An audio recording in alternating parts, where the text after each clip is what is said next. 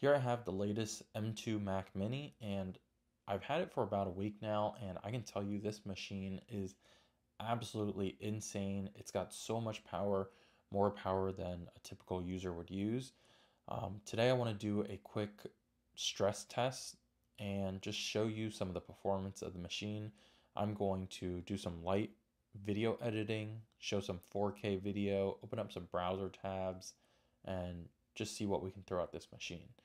Here I'm going to do a quick boot test. So pressing the button now.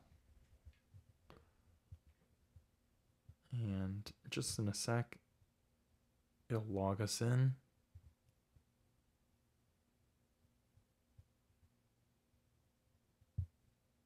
And there you go.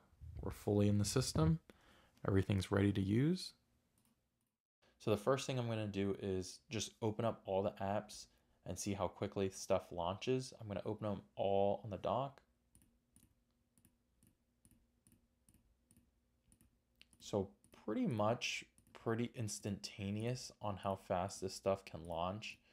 I can't even keep up with it with my hand. Um, but you can see everything's launching pretty instantaneous. This is the base model M2 Mac Mini. So here we have an iMovie screen. You can see I already have a video that I'm editing here and just split this clip, split here. Um, let's say we want to just play some background music or watch a video in the background. And so what I'm going to do here is I'm going to launch a few of these 4K videos.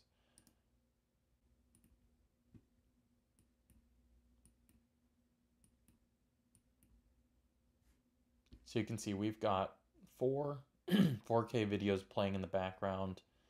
And let's say we want to browse and look for some video microphones. So here we are on Amazon. I want to look at this one, look at this one, look at this one here. So the computer fans on this haven't even started kicking on.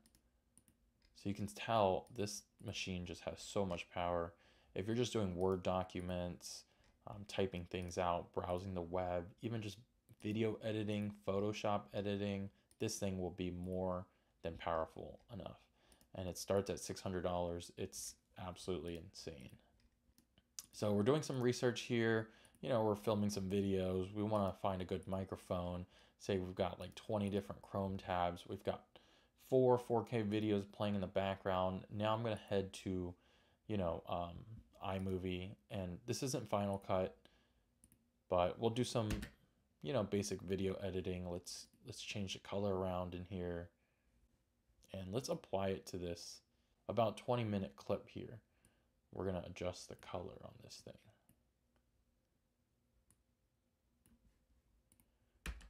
And super smooth, no lags on anything. Say we need to come here, mean, there's not much else you can ask for the, on this machine. And let's check the usage here. So CPU, we're at, you know, roughly 11%, 15, 14% here, idling around 75. So this is only using up 25% of the CPU. We're displaying these videos. We've got all these tabs open, all these applications open we're working on in the same time. And we're only using about 70% of the machine. The memory does use up a bit more when you're on the browser as well as in video editing. So if you really wanted to up your memory, um, I would say that might be worth your money. So we're getting capped around eight gigs and we're using about seven and a half gigs with all these things open.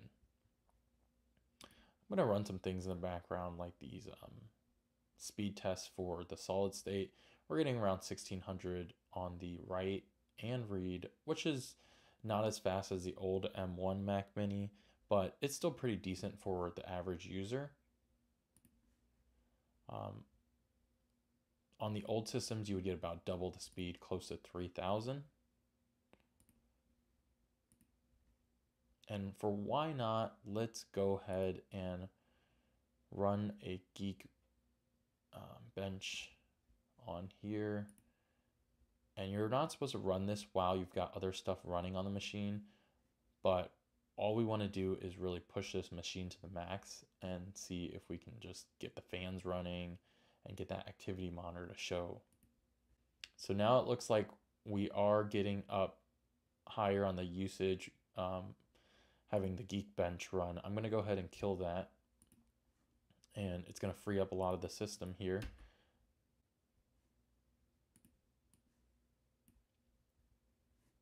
So again, here we've got the 4K videos running.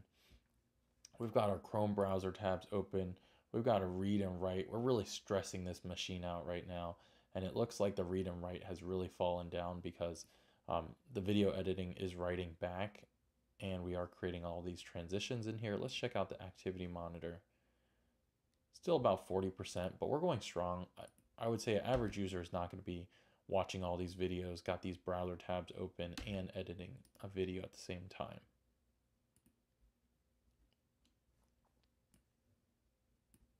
So that is just, again, a very quick look at the stress test on the M2 Mac Mini. I do plan to do a lot more testing on this machine. If you guys do have any questions, go ahead leave those down below. Uh, let me know your feedback. You know, if you're looking at this machine, what you guys are going to use it for, what you want to install and use the computer for. Um, check out my channel for more tech videos, subscribe, and I'll see you in the next one. Thanks for watching.